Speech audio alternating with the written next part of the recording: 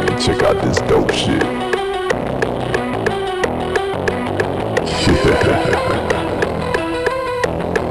like this, biatch. Uh, drop the shit, Biatch.